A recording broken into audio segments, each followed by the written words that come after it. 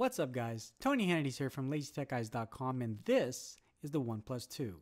I've had it for about three or four days now, and I feel like I've come up with a pretty good list of things to consider before you go ahead and buy it. Stay tuned.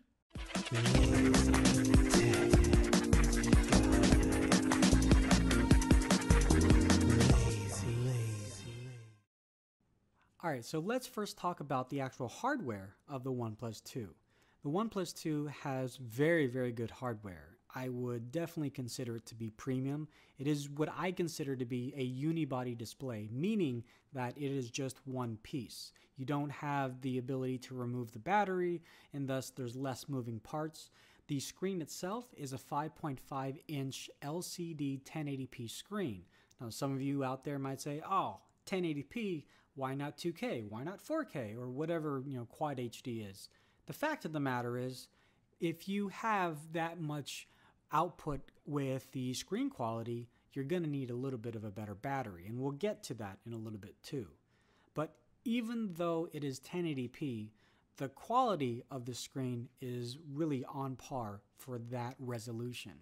Now, the screen itself is what OnePlus told me to be in a design called a floating screen. So if you look at the edge between the screen and the rest of the body, it looks like it's coming apart. There looks to be kind of a gap, but that's design. That is something that they wanted to have the, I guess, the illusion that it's floating off of the rest of the phone. So I don't know if dust can actually get in there. Um, I just went to the beach today with it, and I didn't. I don't see any dust in there or any sand or anything like that. So that's okay. That's a good thing. The other thing that they've improved on the hardware is that all the way around, this is metal. It's not brushed chrome on top of plastic. This is hardcore metal. So it does feel very solid. And also, on the back of the phone, this is the sandstone gray that comes with the phone, but then they have some of their swap cases where you can get bamboo wood, you can get other kinds of wood and other kinds of stone to customize it a little bit better. Now, if you want to go for those, I believe they're only going to cost you about $30. Um, and the nice thing too, though, is if you just stay with the sandstone gray, the sandstone actually gives you a little bit more grip, which for the most part is what you really need, especially if you're not a case person, because this is a big phone. I'm used to a Nexus 6, which is a 5.96 inch screen, and that is a lot bigger than this. But even though I am used to that size, I do find myself having to shimmy up and shimmy down with the OnePlus 2. Another few benefits that they've added to the OnePlus 2 fingerprint scanner. So the fingerprint scanner on this is really good. I wouldn't say it's the best that's out there because that's kind of what a lot of us said with the iPhone and then the Galaxy S6 when that came out. And, um, you know, and then things started to happen where it wasn't the best anymore after a few weeks of using it. But for the time that I've actually used this with my own personal fingerprints and whatnot, it is turned on almost 99% of the time. There was one time where I had to replace my thumb or replace my other finger and then it turned on. But for the majority of the time, the fingerprint reader is very, very accurate. And we're in 2015 going to 2016. So we're, we're getting to the point where that technology isn't just Apple has the best technology. Other companies are doing very well with it. And so whoever OnePlus outsourced to do that, great job for that. And then the last thing in hardware upgrades, I would say, is this little toggle switch on the left side. Now, what this allows you to do is it takes advantage of the lollipop features where you can go from your notifications of being always on, always off, or priority only. Now, truth be told, I don't really use the priority mode on too much, except maybe at night. So I, I, can only get a phone call from my dad if it's a you know serious nature or my wife or something like that. But in a pinch, it's kind of nice that you don't have to turn your phone on to click to notifications off or priority mode. You can just do this even when it's in your pocket. And one of the last things I want to mention in upgrades to the hardware is the camera. The camera is still a 13 megapixel camera, and in this day and age, just megapixel alone, that seems a little low. But one thing that they did add was the fact that the lens construction, they actually have six lenses, and they've added OIS, which is optical image stabilization. Now, as I've tested this amongst the Nexus 6 and the G4 from LG, I actually did a completely separate video, which you can find right about here. So click on the little eye there to see that full video, which I believe is about 12 minutes long. And I go in depth of checking out the camera in low light, st standard everyday light, and then macro mode and other things like that. Now, another really cool thing about the OnePlus 2 is the customization. This is using an overlay on top of the stock Android Lollipop 5.1, but the Oxygen OS, which they call their version of Android, is fairly close to stock as well. One thing is if there are any applications that the phone comes with that you don't like, you can remove them you're not stuck to have that take up bits and bytes and whatnot and room on your hard drive. And whereas, you know, if you get a carrier phone, you might have that problem. Another thing when it comes to customization with the OnePlus 2 is you can decide whether you want to have the physical buttons for your back and task view button or if you want the on-screen buttons. But one thing that they really wanted to hone in on was customization of the UI. And so they added a few things that haven't even hit Android Basic. And they said that that would be available in Android M. So to a certain degree, OnePlus beat Google to the punch. Let me show you one example. If you swipe down on your notification shade and you have a list of all your little different toggle switches and whatnot, on Android L, Lollipop, and Android M, currently, you cannot change the order of these toggle switches. You're stuck with Wi Fi being first, Bluetooth being second, and so on and so on. But with the Oxygen OS, you actually have the ability to change what order you want these toggle switches to be in. You cannot omit them. They're gonna always be on your your uh, your notification shade, but at least the order in which that they pop up, you can change that. Also, they have a dedicated section for customization in the settings menu. Under customization, you can actually go between light theme and dark theme very, very easily. And the thing about dark theme, what I like about it is that as you can see, well, it just makes everything dark and it's not so bright on your eyes. Plus, you have the ability to change your accent color. So if you wanted to, all of the little toggle switches and all the little icons, I can have them be red or any other color that they give me.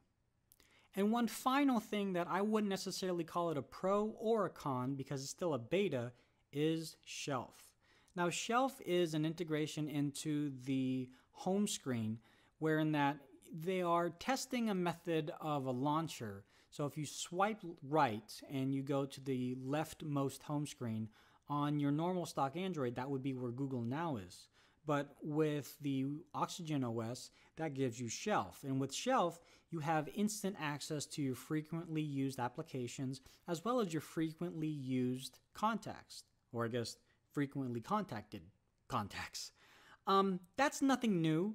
We've seen a lot of different launchers do that in the past, and some people like that, some people didn't. I mean, there are launchers out there that will change the order of the applications based off of your GPS location and things like that but it's in beta, and OnePlus told me that they are listening very heavily to the outcry of users to say, "Hey, how can we make this better?" or "Hey, no, no one really uses it, so don't even put that on the phone and use those resources towards something else." Okay, so let's talk about some of the cons with the OnePlus 2. Let's talk about the elephant in the room. There's no NFC and there's no wireless charging. Let's first talk about NFC. Do you really need NFC? Now I have NFC on my G4, I've got it on my Nexus 6, I even have it on my Windows phone. The fact of the matter is, the amount of times that me, a complete uber nerd geek, whatever you want to call my uh, call me, I rarely use NFC. There's been certain times where I thought it was kind of cool that I could swap information by just touching backs with a friend, but then there were some issues. I had to take my case off of my phone or they didn't have NFC on. And then it became such a rigmarole of trying to just get their contact info that I just had them call me. I just took down their number that way. And then some other times where I want to use NFC for payment, and we know that Android Pay is just around the corner. And to omit NFC on what they consider to be a flagship model seems to be a little backward thinking. However, the fact of the matter is, Android Pay and NFC payments as a whole is still growing. And even though there are a lot of phones out there that are obviously taking advantage of NFC, there's a lot more retailers that aren't. We know the battle between NFC retailers like Google Wallet or uh, Android Pay, I guess now, Apple Pay, and then there's CurrentC that uses their QR code, and then there's uh, Samsung Pay that takes advantage of the company they acquired, LoopPay, which doesn't use NFC at all. So we're in this mobile payment war that probably won't ease out for another year or so. And we already know that OnePlus has already said their next phone will probably support NFC, which from a marketing standpoint wasn't really a good idea. But for the OnePlus 2 to not have NFC, I don't think it is a deal breaker. It's definitely a nice to have, but I wouldn't write it off completely. Wireless charging. Wireless charging is huge, and if you've been following our channel, I've done a couple of reviews of wireless charging docks and cradles and things like that, especially from Tylt, and I have grown to love wireless charging. Wherever I can find wireless charging, whether it's PMA or whatever the other uh, protocol is, I guess Qi, whatever it is, I want to take advantage of that with my phone. And Samsung was smart to integrate both PMA and Qi charging into their S6, S6 Edge, and now the Note 5 and the S6 Edge Plus. But OnePlus decided not to. Here's the thing though OnePlus 2 has a 3300 milliamp hour battery. Now compare that to the latest news of the Galaxy Note 5, that is a 3000 milliamp battery and an octa-core processor and an extremely high resolution screen.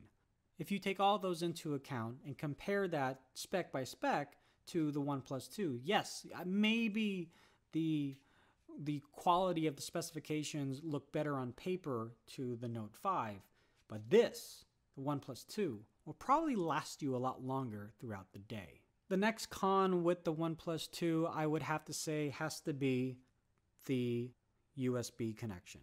So the USB connection is USB Type C, but hold up, it's not the new Type C that Apple and Google are taking advantage of with their latest products, the MacBook and the Chromebook Pixel 2. This is USB Type C 2.0. So, what that means is that with regards to fast charging, this doesn't have it. With regards to fast data transfer, this doesn't have it. But it does have a really cool charger. I mean, this is a really cool thing, and it sounds really silly and stupid. First off, the cable that it comes with is very, very premium. I'm very, I'm liking this cable a lot. I mean, I, I can't wait for you know other phones and devices to take advantage of USB Type C because you can definitely use this with that. And I'm gonna buy a bunch of these because this is really, really well made. And um, I mean, very similar to that of those people that are using Apple devices. It doesn't matter which way you plug it in, it's just to work. But if you're expecting to be able to charge your phone halfway within about 15 minutes, eh, we're not there yet. And that's a couple of things, and the main thing has to do with the Snapdragon 810 processor. So let's talk about that. The Snapdragon 810 processor, well, it is a 64 bit processor taking advantage of Lollipop, and it's great, right? Probably not. This is still the version 2.1, which they said that they don't have any overheating issues. And lo and behold, all the other companies that had heating issues were also using the uh, Qualcomm Snapdragon 810 2.1 version. So we were under the impression that uh, OnePlus was working very closely with Qualcomm, which I'm sure they are. But the fact of the matter is, the other day, on the OnePlus 2, I was playing a brand new game called Fallout Shelter, and I'll do a review on that sometime later. But I was playing that game for maybe 15 minutes. Just 15 minutes and just getting started as an overseer of my dwelling, if you will. And this particular area of the phone got really hot. I mean, not hot to the touch where I was about to drop it, but definitely hot. So let me put it to you this way when you start your phone up for the first time and you download all of your apps from zero to all of your apps 30 apps, 40 apps, or however many apps that you have that's when the phone tends to get hot for the first time.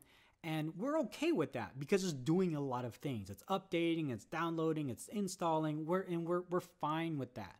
But This was getting hot to that point, and even more so just playing this particular game for about 15 minutes. Now, you might argue that the quality of the game is really, really good in terms of its graphics output, and that's true. It is really good, which is why I want to do a review on it. But when I did this with Netflix and I was watching an episode of a show on Netflix on this phone, and the conditions that I was doing it in was I was just sitting down over my couch over there. I wasn't holding it in any particular way. I wasn't holding it wrong. I was just watching Netflix like you do. And again, it started to get a little warm. Now, not as hot as it was when I was playing Fallout Shelter, but definitely hotter than I've ever felt when I was watching Netflix on my Nexus 6, my G4, or even my Lumia 830, which, you know, I don't know what that means to you exactly, but the fact of the matter is, those guys didn't get hot. This one did. All right, so we've got a bunch of pros and a few cons. Um, I can't really tell you specifically if the cons can outweigh the pros or if the pros can outweigh the cons, but I will say this the one thing that stuck out the most was it did overheat for me. Now, again, this overheated when I was using it for media consumption with Netflix and playing a game that was arguably a little heavy handed in the graphics, but still, it shouldn't do that after 15 minutes, at least not in my experience. So, would I give this a buy as of right now? I've only had it for three to four days, so give me a little bit more time. I just kind of want to keep you guys going with my journey with the OnePlus 2. If you have any other thoughts or questions, please leave them in the comment section below. Please like this video, subscribe wherever that button is, and thank you very much for watching. I'll talk to you guys in a little bit. You take care. Peace.